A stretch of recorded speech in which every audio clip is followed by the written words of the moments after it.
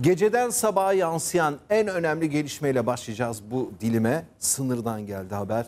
Azerbaycan Savunma Bakanlığı Ermenistan'ın provokasyonları sonucu sınırda çatışmaların başladığını duyurdu.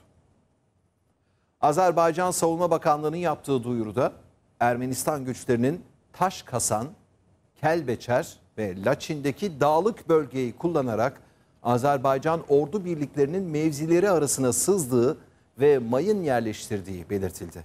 Ermenistan'ın sabotajları sonucu çıkan çatışmalarda Ermenistan mevzilerine çeşitli silahlarla ateş açıldığı, personel kayıpları ve askeri altyapıda hasarların oluştuğu kaydedildi. Azerbaycan Savunma Bakanlığı sınır bölgesini korumak amacıyla kararlı önlemler alındığını vurguladı. Bakanlık çatışma ve kayıplardan tamamen Ermenistan'ın askeri ve siyasi liderliğinin sorumlu olduğu duyuruldu. Öte yandan Ermenistan Başbakanı Paşinyan çatışmaların ardından Rusya Devlet Başkanı Vladimir Putin ve Fransa Cumhurbaşkanı Emmanuel Macron'la görüştü. Ermenistan hükümetinden yapılan açıklamada Paşinyan'ın Putin'le yaptığı telefon görüşmesinde Azerbaycan-Ermenistan sınırındaki son çatışmaları ele aldığı bildirildi.